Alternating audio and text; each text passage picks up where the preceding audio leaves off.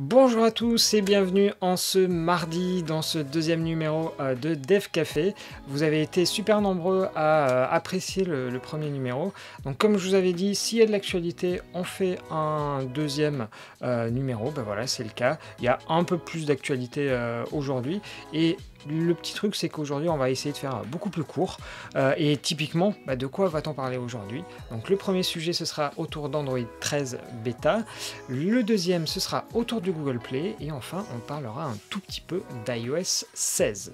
Euh, mais avant ça, surtout, n'oubliez pas de liker la vidéo, de vous abonner et de faire la cloche les trucs dont vous avez l'habitude sur YouTube, mais ça aide énormément euh, pour faire connaître bah, ces petites vidéos que je suis en train de, créer. Donc voilà, surtout, n'hésitez pas à le faire, ça va euh, énormément me faire euh, gagner en visibilité.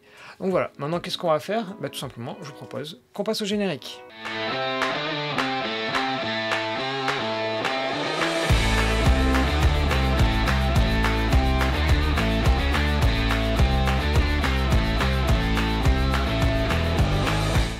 Alors pour commencer euh, euh, cet épisode, on va donc parler d'Android 13.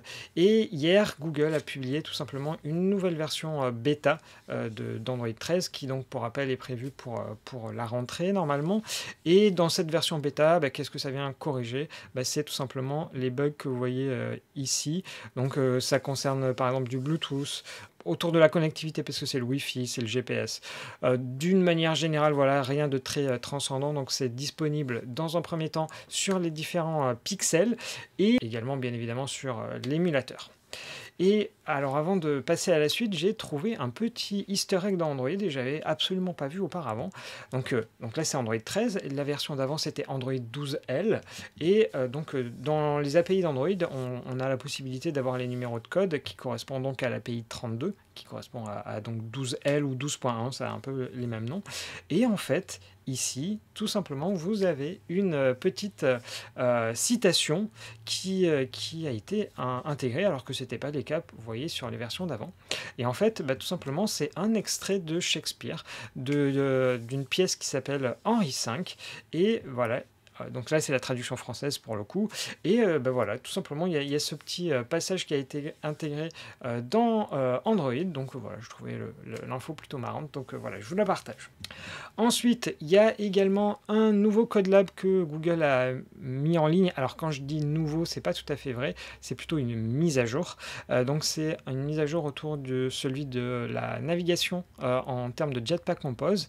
Donc faites attention. Vous voyez maintenant, il y a bien 11 chapitres alors que euh, si vous arrivez, en fait, quand on est en français, euh, ça vous met euh, uniquement 8 et vous voyez que ça a été mis à jour en février. Donc faites bien attention d'utiliser la version en anglais, histoire d'être sûr voilà, que vous avez bien ces, ces nouveautés-là. Donc voilà, utilisez Navigation Compose, il y a des gens qui aiment, d'autres qui n'aiment pas. Bon là voilà, c'est l'occasion pour vous de tester. Et euh, voilà, ça fait une centaine de minutes, donc euh, voilà, on va dire à peu près euh, deux heures. Si vous voulez vous mettre à compose et plus particulièrement à la navigation, ben, vous avez ce truc là. Maintenant, je vous propose qu'on enchaîne avec la deuxième actualité et ça concerne le Google Play et plus précisément les 10 ans du Google Play parce que oui, il faut savoir que donc, Google a célébré euh, hier euh, bah, les 10 ans de son euh, store d'applications. donc voilà, je ne vais pas vous réciter tout ce qui est écrit là-dedans. C'est absolument pas intéressant, c'est un peu de l'auto-congratulation. Mais voilà, est-ce qu'il n'y avait quand même pas quelques petites nouveautés euh, de disponibles? Eh bien si, il y en avait. Et ben voilà, la nouveauté, c'est tout simplement le logo que vous voyez euh, juste ici. Donc là, pour vous la faire simple, les couleurs ont un tout petit peu changé, c'est un peu plus foncé, et les bords seront un peu plus arrondis. Donc là, typiquement, quand on va sur le site de The ils ont fait un petit comparatif euh, avant-après. Donc voilà, ça c'est le nouveau, et ça c'est l'ancien. Est-ce que ça valait le coup de faire euh, un tel ramdam? Je ne sais pas vraiment. Mais euh, donc voilà, c'est c'est ça qui va changer. Donc, euh, typiquement sur vos téléphones, vous devriez voir euh, le, nouveau logo euh, bientôt. Et d'ailleurs, tiens, avant de, passer à la suite, donc je vous ai parlé du Google Play, mais en fait, avant, ça s'appelait l'Android Market. Et ben voilà, pour les plus nostalgiques d'entre vous, voilà à quoi ça ressemblait avant. Donc, je ne sais pas si vous avez connu toutes ces versions. Moi, j'ai eu l'occasion. Typiquement, la version noire là qu'on avait sur les toutes premières versions d'Android, qui était pas terrible, on va dire. Euh, et donc sur cet Android Market, euh, ben, on, voilà, on le voit évoluer au, fur et à mesure du temps, avec notamment l'ajout des nouvelles sections ici, euh, avec la musique et toutes ces choses-là. Aussi, c'était une époque où en fait le Google Play, ben, en fait, ils hébergeaient tout et n'importe quoi. les applis 18 il n'y avait aucun problème. Il n'y avait pas de validation comme c'est le cas aujourd'hui. Donc voilà, n'hésitez pas à me dire dans les commentaires. Pour euh, rester sur le Google Play, donc il faut savoir que depuis euh, quelques jours, la section sécurité des données qui est affichée aux utilisateurs, et donc ça permet en fait aux utilisateurs d'avoir plus d'informations sur le, traitement des données que vous euh, recueillez et utilisez. Et donc là, vous voyez par exemple ce développeur-là, ils n'ont rien mis. Mais par contre, si on regarde sur là le Sonic qui est juste à côté, eux ont fait les choses correctement. Et en fait, auparavant, euh, sur le Google Play, bah, à la place de sécurité des données, il y avait les permissions utilisées par l'application. Et en gros, il y a eu un gros ramdam euh, de la part des utilisateurs qui bah, aimaient avoir euh, ces informations-là.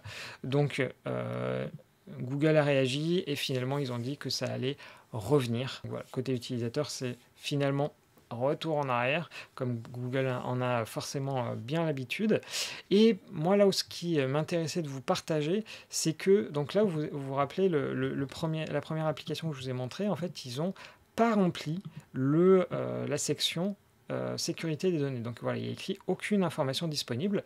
Et normalement, la deadline, bah, elle était fixée au 20 juillet. Et qu'est-ce qui va se passer?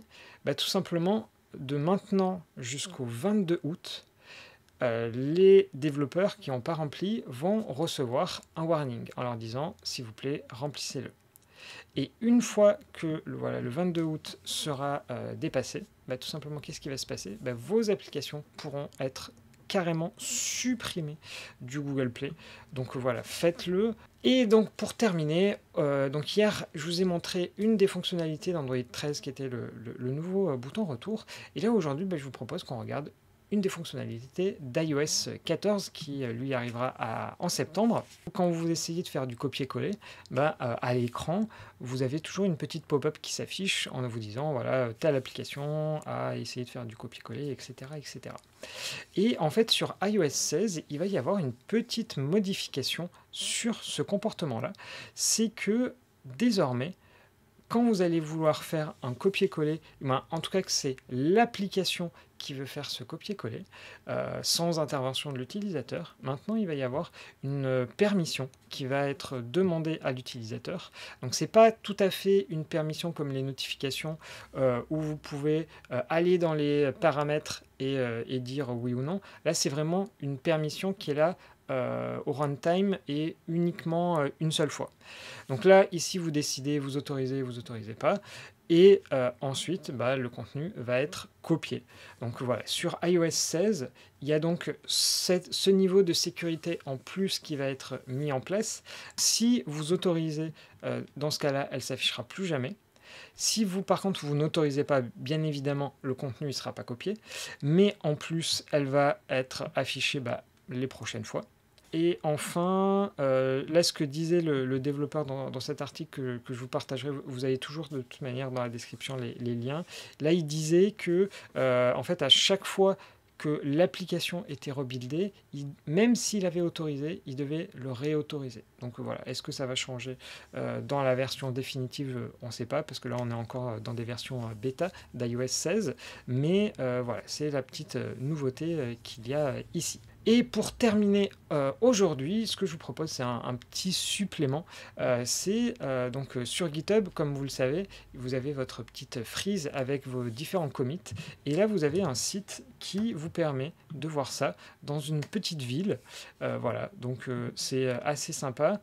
Donc on peut voilà, activer des ombres et vous pouvez voir pour chaque année finalement quelle est votre, votre activité sur, sur GitHub.